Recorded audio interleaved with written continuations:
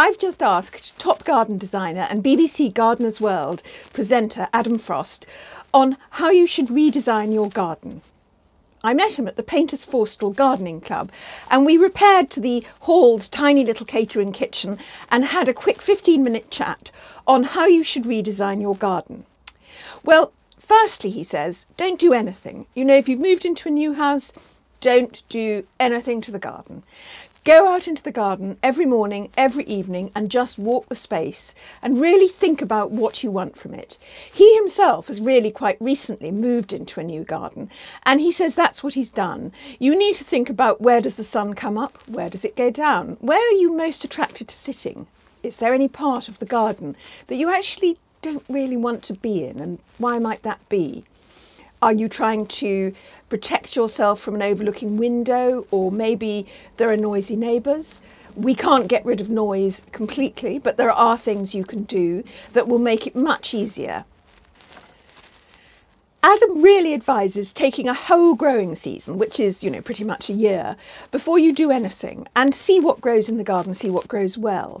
And he most specifically says is don't have prejudices. Don't think, oh, I hate conifers or I hate aucuba or I hate this or I hate that. And I mean, I completely understand this because when we first came to this garden, we uh, were determined to get rid of a great big conifer, which is really planted quite close to the back door. I mean, thank goodness we didn't because we lived with it for a while and we realised that it was screening out the light from a really ugly street lamp. Now, if we'd taken that conifer down, it would have been unbearable to be on our terrace at night. So, really think not just I hate conifers, but what's this tree doing here? What does it bring to the garden? What does it bring to the party? Now, we've all heard about towns and villages having microclimates, but every garden has a microclimate, Adam says. My viburnum opulus is only just changing colour. But my neighbour, who also has a viburnum opulus, which is probably just about 100 feet away or something, and is facing in the same direction, has already lost all its leaves. Now, this is probably because my neighbour's viburnum opulus is against a wall, and that'll make it much warmer. It's probably growing faster. And actually, I've noticed it also comes out a little bit earlier in the spring. Mine is a good three weeks behind it, and mine's in rather a shady spot. So, what about garden privacy? Well, Adam suggests you create a secluded corner. If you've got a window overlooking you, don't stick a row of trees down by your garden border. It, they'll take years before they really screen anything. You can put something much smaller really close to where you're going to sit. Having trees close to the house can create a secluded, private effect.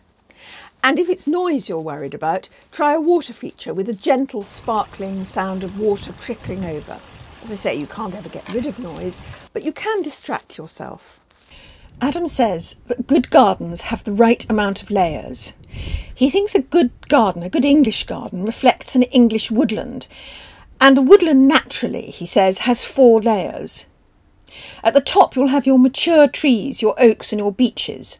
And then underneath those, there are the saplings, the younger trees. And then in woodland, you'll see the equivalent of shrubs. It'll be like rhododendrons or hawthorn or quite large plants which grow sideways to make the most of the light.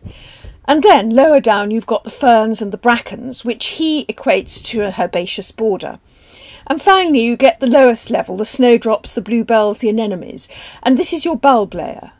And I can see what he means, and it's quite a good idea to assess your garden, thinking, are all those layers here? So, looking around my garden, I've certainly got the larger trees, and I do remember someone saying, oh, I'm so glad you've left the larger trees there because it makes the garden have better proportions.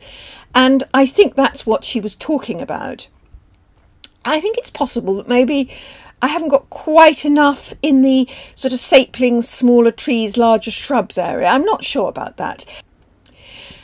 Now, one tip that I thought was incredibly useful is that Adam suggests that if you've got a gap in your border, think about the foliage, not about the flower colour.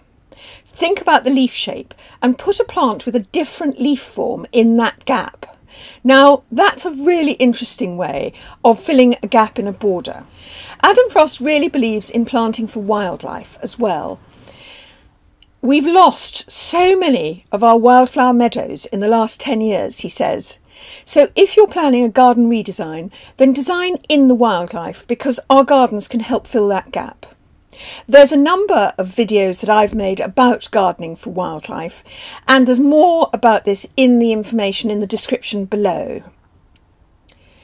Adam also suggests that you think about a word that sums up your garden. So when you're in the garden centre or the nursery and you're going to buy new plants or new furniture or something, you think, does it fit with this word? So if your word that you use to explain your garden is calm, or if it's romantic, or if it's colourful, then look at what you were thinking of buying and say, well, if it's not calm, it's not coming home. If it's not romantic, it's not coming home. And finally, I think the best advice of all that he gave was to say, don't chase the dream that it's got to be perfect all the time. Enjoy those little moments that your garden can give you. Find your own way and don't worry about what anyone else thinks. Adam Frost is a very inspiring speaker and he's also very practical. He became a garden designer after he'd been a landscaper, so he really understands how the hard landscaping of a garden works. You can find out more about his garden design in the links in the description below. And he's also got a fantastic garden school that he's just opened and is available for talks. And do join us on the Middle Sized Garden every Saturday if you haven't subscribed. We'd love to see you. Thank you.